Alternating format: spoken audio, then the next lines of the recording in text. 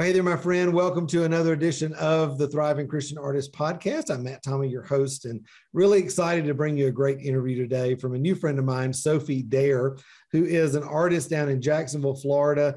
Like so many of us, she's had this incredible story of ups and downs, starting in one way but finishing in another, and and seeing these continual themes uh, of of not only art but also building relationship come around in her life and seeing God lead and use her life in incredible ways uh, to not only make an income for her family, but also bring uh, blessing and healing to others. And so I'm really excited to uh, share her story with you today so that you can be inspired. You can find all the information about what Sophie's doing down in the show notes right here. So you can click and, and get all those details and, and visit her on Instagram and, uh, and, and just kind of con- continue to connect with her there one of the things that we talk about inside uh, of today's interview is the importance of relationships. And so I want you to be listening for that all the way through uh, and learn just to listen to the Holy Spirit as she's telling you these tips and telling you her experience because so many people think nowadays oh selling online and instagram and facebook and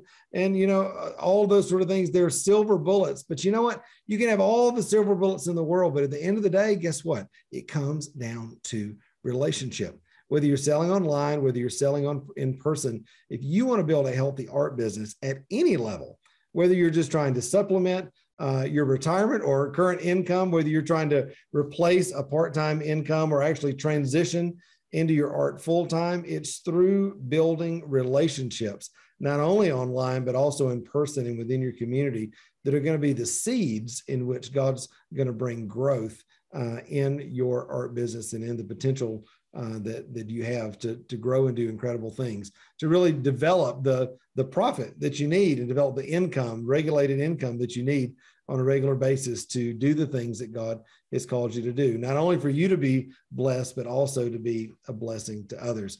So keep your ears open today on the podcast, and I would love to, to hear some of the aha moments that you have. You can leave those in the comments below if you're listening on, on the podcast and not over on YouTube. You can leave those in a review or you can email us. You can tag us in a comment. Just let us know that the podcast is a blessing to you. All right. Well, hey, I'm going to get out of the way. You're going to love this interview with my new friend, Sophie Dare.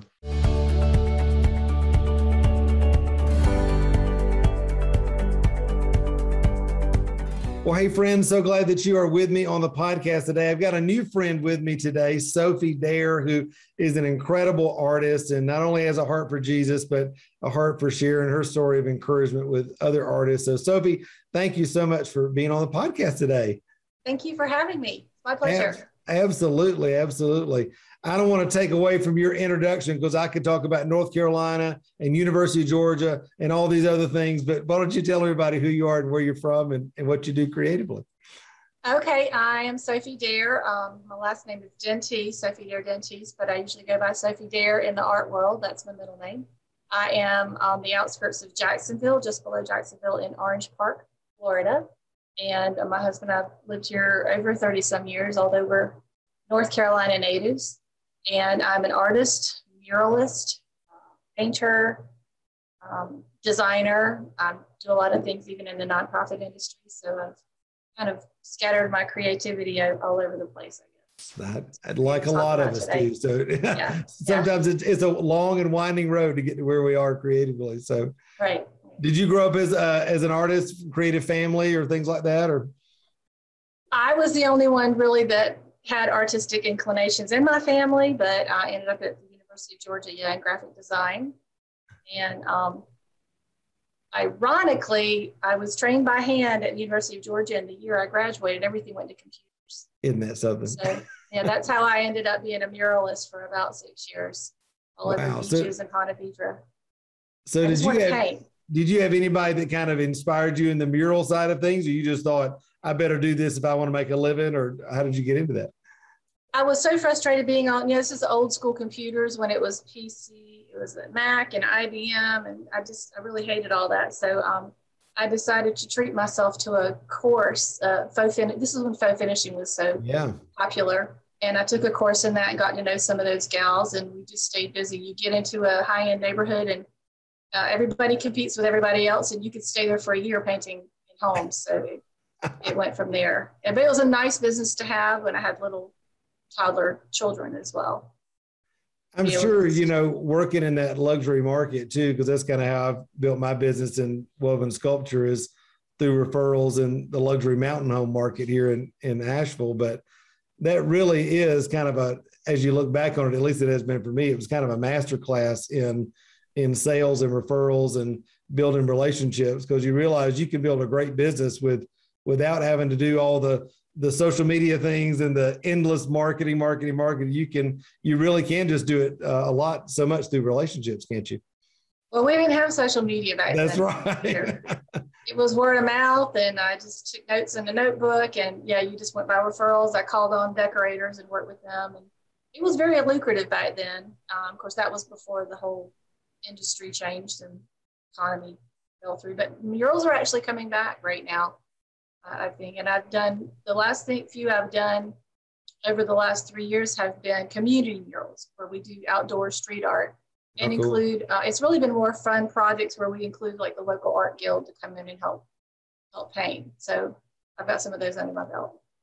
So when that industry started to change initially for you, you know, faux finishing and, you know, residential murals and, and that sort of thing, did you go immediately into your fine art direction? And and i guess uh, even deeper question is what was that transition like? Because i know nobody likes to kind of give up the cash cow if you would. And you know we all think that we're just going to be on this upward trajectory forever but things change styles change the economy changes. How did you navigate that in your life?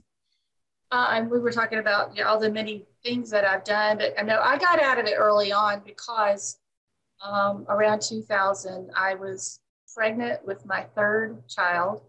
My oldest son had special needs.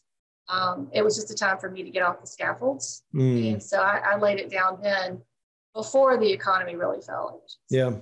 So I've done a lot of different things throughout the years, uh, including rolling into getting back on the computer, down doing marketing, um, product design, just a lot of graphic design business development um, since then. Yeah. So did your fine art, was it kind of just, it turned into a hobby for you at that point or? It was, yeah. I've gone through so many different phases where I couldn't really do the art that I wanted to do, um, yeah. just because of the economy or because of the needs at the time. And um, there were several years actually I had to step back completely when I was a special needs mom. I guess that's part of my story. Uh, is our oldest son um, Joshua had such severe special needs that we lost him when he was eight. Wow. In 2002. But there were quite a few years there where I was just basically, when you're a special needs mom, you have no doubt what your number one job is. And yeah. That just takes over everything. Um, and then I homeschooled my middle son for several years as well. So there were years where I really couldn't be an artist full time. Um, but I, I guess that's one of the things I love talking about is how much our creativity rolls into other areas. Mm. Because I was just a creative homeschooler. I did a lot of art with my boys. My boys are all very kinesthetic, hand on, hands on. We did a lot of art, and I ended up teaching homeschool groups, uh, and then that rolled into special uh, private school groups. So I, I taught art for a lot of years. So I was able to still share art, even though it wasn't a business for me. Yeah, you seem to be the type of person that, okay, if this doesn't work out, I'm just going to switch and we're just going to do it this way. We're going to do it that way. That is, I would just uh, to affirm you and say that is not always a normal thing for some. You know, sometimes people will be like, if something changes in their life, it can absolutely shut them down. I'm assuming that it's been your walk with the Lord and maybe a healthy marriage and and just a good dose of self confidence and that sort of thing that has helped you to to walk through that. But talk about the the changing of those seasons because although you're just saying, "Oh, I, I went to this and then went to that," those are not always easy, and because a lot of times we define ourselves by the progress that we're making or not making, and those transitions can be difficult, can't they? I think that's one of the benefits of being an artist and always knowing how much you love art is you have a coping mechanism for everything. Mm-hmm. Um, and so you can always return back to your art in some capacity or just that creativity. Of course, we all have my husband is Greek and he loves to cook. He has creativity in the kitchen. You know, we all have creativity in different ways. But um, to always be able to go back to that has really been key for me, uh, especially dealing with loss and grief after losing him. Um, and, and I got to a point where Um, I did not want to talk to God. I didn't want to hear from him. I knew he loved me. And it, it, going through loss and grief, I always knew he loved me. Um, but you know, you just you have that numbness of yeah. your expectations not being met. Um, but I started noticing all of the uh, little things in nature. I went out with my camera and started looking for balloons and butterflies, and I got really obsessed with magnifying little things like that. Um, that really rolled into just a whole collection of, of and, and, I actually did a whole broken butterfly series. I noticed wow. most of the butterflies that you go see at the rainforest or whatever, and down in Gainesville are broken. They're all torn. Their, their life is so brief. Um, and so that rolled into a whole series and message. Um, I ended up even being a speaker for a short time there, just grief and wow. coping. Uh, and I think art is so inspiring for people. Um, you know, even if they aren't, art, they don't feel artistic, your art inspires them, you know, through situations like that. Yeah. I think about my own journey and so many of the artists that we work with in the mentoring program or just that listen to the podcast. It's like a lot of times we have this idea that if I'm going to be an artist, it's got to look like this and it's got to happen in this order and that sort of thing. And what I'm just loving about your journey is that, you know, you known that you've been an artist the whole time, but it's had these different iterations, these different seasons. These sometimes it takes the forefront, sometimes it's taking a back seat, but it doesn't mean that you're any less an artist. It just means that the season in which it's expressing and how it's expressing itself is is a little different. I know now you're, you know, it seems like art has come back into the to the forefront of your life and you know with selling your art and creating on a regular basis so how did that transition happen and, and what's your life looking like now as far as your art business and, and all of that um, i had several years that i did work in marketing um, i actually even did two years working at the airport designing a new uh, incentive program for them but i decided i guess it was 2016 that i wanted to come home back and be a full-time artist again um, and it was a struggle. I, I got licensed with the through the furniture market, which was you know one of those little um, five percent royalties. So it just there's nothing. It really didn't produce very big checks at all. And I would say yeah. anybody that gets into licensing, you know, you've got to have like twenty or thirty different. Yeah. going, I guess. Definitely made up on volume, right? so. Yeah, yeah, to be lucrative. Um, but yeah, it has been a struggle. And I had a Shopify site for about six years that really just kind of sat dormant. You know, participated in a lot of local events and local exhibits, but um, I, I, I just past year, in fact, I was also working part time during that time for a local nonprofit um, that I started working with and um, working, working in the development program. And I still do about 10 hours a week for them as well from home, um, creating brochures and things like that. But um, this past year, I guess, you know, we all went through such a change with yeah uh, the last two years, just being isolated and being home. And I decided I really need some change. So um, I switched over to a new platform called um, Art Storefronts. You know, the social media thing, I guess, is one of the things I wanted to touch on because it can be so consuming. You could spend yeah. years analyzing, studying other artists and just being on there all the time and working and trying to make something happen. And it's so frustrating because the whole time you're trying to figure it out, then the algorithms change. And I just, I felt like I was so consumed with that and so consumed with the comparison with other mm-hmm. artists also. But I switched over this program this past summer because it gives you a calendar, yeah. an actual marketing calendar to follow. So you know exactly what to do, what not to do, what works and doesn't work. Um, and that really helped me to gauge how much time I'm spending or wasting on on social media. Um, and as soon as I had invested in, and that was also building a whole new website platform. As soon as I had done that by September, um, I got hacked and lost all of my social media accounts. Oh. Everything was gone. Um, so, and that was actually, I think, a huge lesson to, and of course, in taking care of your passwords. Sure, back about the same passwords every all over the place. Um, but also it helped me to realize what's really important. They, this program had already helped me um, realize that one of the biggest assets as an artist is not social media, but it is our newsletter and our con- direct connections with people yeah. who love our work. And so it didn't hurt quite as bad. You know, I just got back on there and dusted myself off and decided, okay, the, the benefit here is it cleared out over a thousand people like on Facebook that I don't even know. You know, I so agree because I, I teach people in our mentoring program all the time. I said, I don't care how big your vanity numbers seem to be on Facebook or Instagram or Twitter or TikTok or whatever, unless you are driving them to your website, which is your hub, and developing an opt-in, you know, email is king. And you've got to, that gives you the control, that gives you the ability to contact them and like you're saying, really leverage those uh, individual relationships that, and it, it isn't funny all these years later, you're back to doing the things that worked back in the faux finishing days. And that, right. but it's like those, those things, they're not old, they're true, right? Those are true methodologies. And whether it's happening on technology or happening in person or whatever relation, I always tell people, you know, no connection, no sale, no relationship, no sale. But if you do have connection and relationship, you only can enhance your ability to, to create. And sounds like you're you're seeing that even in the midst of losing your social media accounts and all that.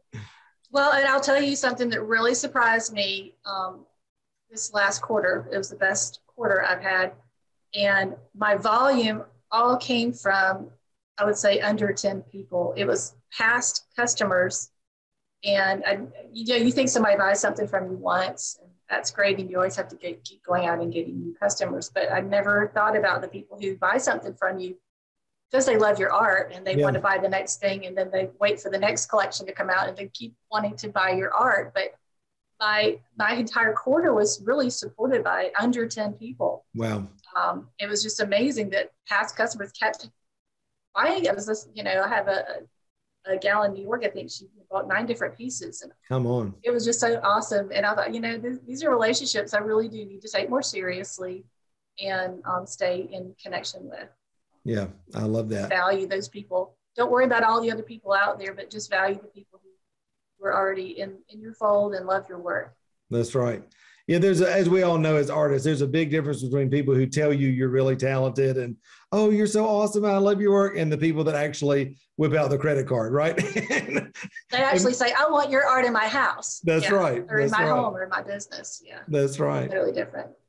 You know, if you had to give one piece of advice today for artists who are maybe struggling with the whole social media overwhelm and that sort of thing, and they're hearing you talk about, hey, I had a great quarter and it came from 10 people what would you encourage people uh, that are listening today as far as how to begin to manage that social media and really press into the people that are actually their best potential clients? Oh, wow. Um, well, and you know, I still go back to it all starts locally too. One of the things I think is, is key for people, especially after this whole isolation we've had the last couple of years, is getting involved locally. Yeah. And I've joined several art guilds locally um, just for the relationships. Yeah. And that, that opens the door to local exhibits and just participating with your work. And yes, and when you do that, you get a lot of feedback from other artists as well. And then finding groups like your group where you actually have that camaraderie with other artists is That's right. so key. Um, you can sit alone in your home and compare yourself on social media all you want, and there's always just amazing artists on there. And I, I mean, I could spend my whole day just looking at other other accounts and people that I, I, would love to be like, or you know, just trying to get ideas. But it's really those those personal relationships that you have, I think, that are, that are going to help you the most. Yeah, yeah. I, I remember. You can't build relationships on social. Yeah, I remember when the pandemic started, you know, and all that started coming down, the lockdowns and all that sort of thing.